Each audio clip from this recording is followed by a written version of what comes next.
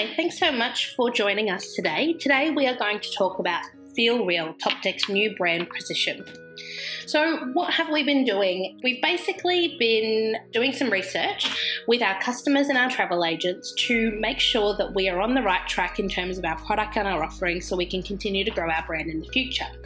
What we've done in the last six or so months is we've employed a research agency to do some surveys with our travel agents and focus groups, as well as some secret shopping. We've done focus groups with customers in the US, the UK, and Australia, as well as our research company has gone on a few of our Topdeck trips to, to see what all the fuss is about. And what they've delivered back to us is the following. So, research outcomes have been that group travel has a perception problem, and probably in particular youth group travel. Group travel is seen as 18 year olds hooking up, always on the clock, and no depth of connection. With group travel, you see but you don't feel. Customers are seeking deeper travel experiences that are local and intimate, that feel real and authentic.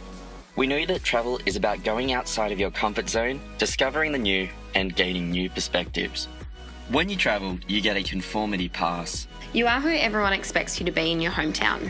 When you travel, you are more carefree, a better version of yourself. You can be a different person. Normal rules don't apply. So, our biggest insight from the research is Travel is my liberation from the rules of normal life. But travel has all the same BS you have at home. It's no longer an escape. There is a swing in Bali, and everyone goes there to get their gram. I don't want their Instagram, I want my own.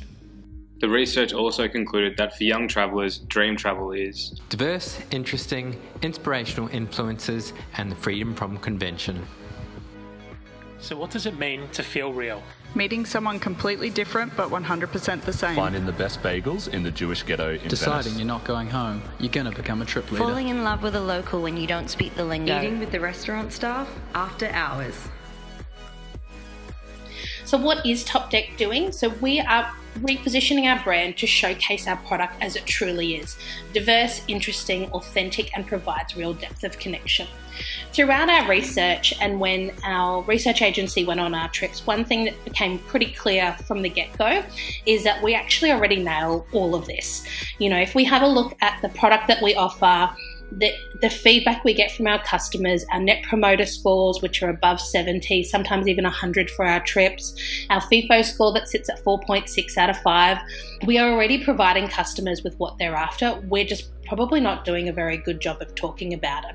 So, what we're doing is repositioning the way we look and feel and talk about Topdeck to help address the group travel perception problem.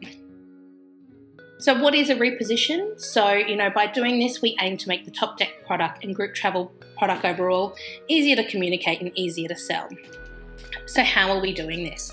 So, currently, right now, if you looked at one of our brochures or our Instagram or our website and you didn't know much about Topdeck or youth travel, you'd probably think it looks fairly artificial, especially looking at our Instagram. Um, you know, lots of stock travel in images. You know, there looks like the same rules from home, and the perception problem is that group travel travels through destinations at breakneck speed so you don't feel or experience. So, what we're doing is we're pivoting the way that we position the product so that we showcase how authentic we already are. We already provide deep cultural experiences, that on our trips it's a diverse bunch of people, and that they have the freedom to be themselves.